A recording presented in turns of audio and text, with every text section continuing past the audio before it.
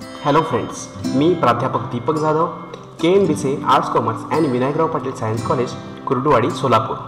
मित्रांनो corona virus जगभरामध्ये थैमान घालत आहे. लाखो लोक कोरोनामुळे मृत्युमुखी पडलेले आहेत. जगभरामध्ये कोरोनाचा प्रकोप हा सुरूच आहे. संक्रमितांचा आकडा वाढतच चाललेला आहे. भारतामध्ये सुद्धा या आजाराचा प्रसार अगदी जोमानं आणि जोरात सुरू आहे. तर मित्रांनो आज आपण जाणून घेणार आहोत कोरोना व्हायरसबद्दलची माहिती त्याची लक्षणं त्याचा प्रसार त्याचं निदान आणि प्रतिबंध.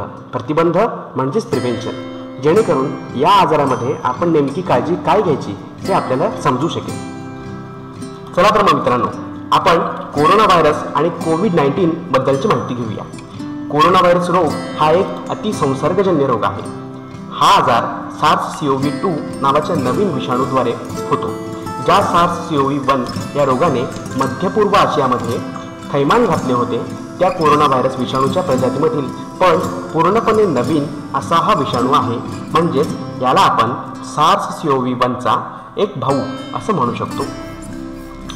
डिसेंबर दोन हजार एकोणीसमध्ये चीनच्या हुबई प्रांताची राजधानी वुहानमध्ये या आजाराची पहिली ओळख करण्यात आली होती. आणि त्यानंतर जागतिक स्तरावर या आजाराचा प्रसार झाला आणि त्याने जागतिक महामारीचे रूप घेतले. मित्रांनो चला आपण पाहूया या आजाराची नेमकी लक्षणे आहेत कोणती? कोरोना व्हायरस रोग या विषाणूचा संसर्ग झालेल्या लोकांना ताप खोकला थकवा आणि धाप लागणे अशी फ्लूसारखी लक्षणं दिसू शकतात. त्यानंतर श्वास घेण्यात अडचण छातीत दुखणे गोंधळून जाणे जागे होण्यास अडचण येणे आणि चेहरा आणि ओठ निळे होणे यासारखी लक्षणे आढळल्यास तात्काळ वैद्यकीय उपचारांचा सल्ला हा दिला जातो. शिंका येणे नाक वाहणे किंवा घसा खवखवणे मळमळ उलट्या आणि अतिसार ही लक्षणे फार कमी रुग्णांमध्ये दिसून आलेली आहेत. त्यानंतर जिभेची चव जाणे आणि वास न येणे अशा दोन लक्षणांचा नवीन नव्याने ह्या आजारामध्ये समावेश करण्यात आलेला आहे. मित्रांनो आता आपण पाहूया कोविड नाईन्टीनचा प्रसार हा नेमका कसा होतो? जागतिक आरोग्य संघटनेने आणि अमेरिकेच्या centre for disease control and prevention C D C या संस्थांच्या म्हणण्यानुसार हे विषाणू मुख्यतः दोन व्यक्तींच्या जवळच्या संपर्काच्या वेळी तसेच खोकला येणे शिंक येणे आणि बोलताना बाहेर पडणाऱ्या थेंबांद्वारे पसरतात. आता हे जवळचे अंतर म्हणजे नेमकं काय?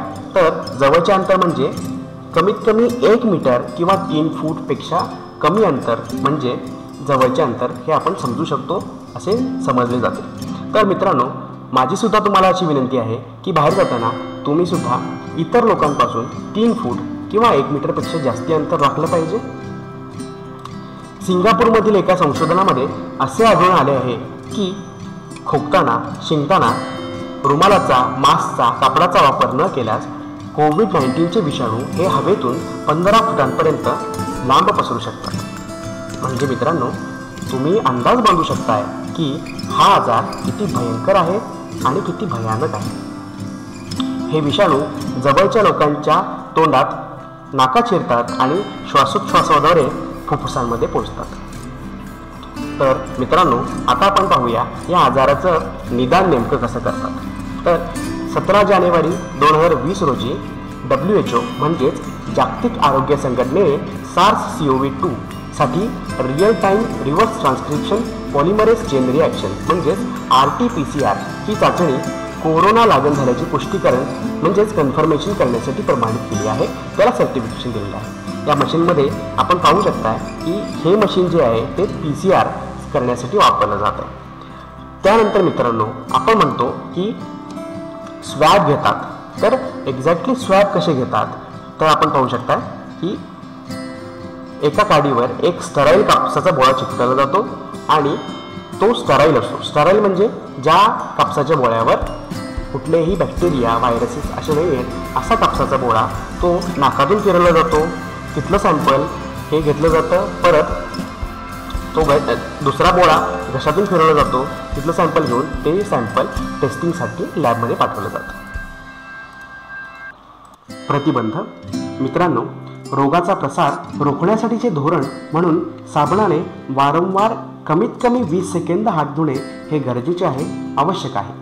इतरांशी शारीरिक अंतर राखणे हे सुद्धा गरजेचे आहे.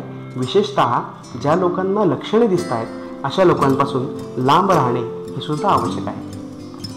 खोकताना आणि शिंकताना रुमालाचा वापर करणे हे गरजेचे आहे. समजा अचानक आपल्याला शिंका आली आणि आपल्यासोबत त्यावेळी रुमाल नसेल तर कोपऱ्याने हाताची घडी घालून काखीच्या दिशेने आतल्या बाजूस शिंकल्यास आपण ह्या रोगाचा प्रसार थांबवू शकतो. हा रोग पसरण्यापासून आपण वाचवू शकतो. सामाजिक शारीरिक अंतर म्हणजेच सोशल डिस्टन्सिंग हा कोरोना व्हायरससारख्या अतिसंक्रामक रोगाचा प्रसार रोखण्याच्या उपायांपैकी सर्वात महत्त्वाचा उपाय आहे. म्हणजेच दोन व्यक्तींमधील अंतर हे एक मीटर किंवा तीन फूटपेक्षा जास्त ठेवलं तर कोरोना व्हायरसचा प्रसार हा आपण रोखू शकतो. त्याला प्रस पसरण्यापासून आपण वाचू शकतो. हा विषाणू एखाद्या पृष्ठभागावर काही तासांपासून काही दिवसांपर्यंत जिवंत राहू शकतो. विशेषतः कागदी पुठ्ठ्यावर एका दिवसासाठी. प्लास्टिक आणि स्टेनलेस स्टीलच्या वस्तूंवर हा विषाणू तीन दिवस राहू शकतो. तर शुद्ध तांब्याच्या वस्तूंवर हा विषाणू चार तास जिवंत राहू शकतो. पण हा काळ आर्द्रता आणि तापमानानुसार बदलतो. सर्वात महत्त्वाचे म्हणजे prevention is better than cure अर्थात फिजिकल डिस्टन्सिंग हे आपण पाळलंच पाहिजे. प्रत्येक वेळी हात धुताना आपण सॅनिटायझर किंवा साबणाने हात धुतले पाहिजेत. खूपच अत्यावश्यक काम असेल तर आणि तरच बाहेर पडलं पाहिजे. आणि बाहेरून आल्यानंतर आंघोळ ही अवश्य केली पाहिजे. शक्यतो बाहेरचे पदार्थ हे आपल्याला आणायचे नाही आहेत भाजीपाला जर आपण आणला तर पाण्यात मीठ टाकून दोन ते तीन वेळा तो भाजीपाला आपण धुवून घ्या. मित्रांनो प्रशासन हे आपल्याला रुग्णांची माहिती देत असतं. त्यामुळे वृत्तपत्रे वाहिन्या आणि त्यांचे प्रतिनिधी वगळता इतरांनी या आजाराबद्दलची माहिती देऊ नका किंवा पसरवू नका. त्यामुळे वातावरण अजून तंग होऊ शकते. आपल्या घरात या विषयावर अजिबात चर्चा करू नका. अशी संकटे येतात आणि निघून जातात. आपल्या घरामध्ये पॉझिटिव्ह वातावरण ठेवा सकारात्मक वातावरण ठेवा.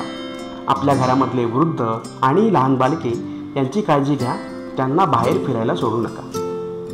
शक्य असेल तर किराणा आणि गरजेची औषधे ही जास्ती प्रमाणात आणून ठेवा. पेट्रोल हे एकदाच भरा आणि आपले घर आणि आपले परिसर हे स्वच्छ ठेवा त्याची सफाई करा. आपल्या घरामधल्या नेहमीच्या संपर्काच्या गोष्टी म्हणजेच इलेक्ट्रिकल स्विचेस बेलचं बटन कम्प्युटर वापरत असाल तर कीबोर्ड आणि माऊस दरवाजाच्या कड्या फ्रीजच्या दरवाजाचं हँडल या सगळ्या वस्तू त्यांची स्वच्छता ठेवा आणि त्याची स्वच्छता करत करत राहा. मित्रांनो काल परवापर्यंत निश्चिंत असणारा भारत देश आज हादरून गेला आहे. हा काळ आपली परीक्षा घेणारा नक्कीच आहे.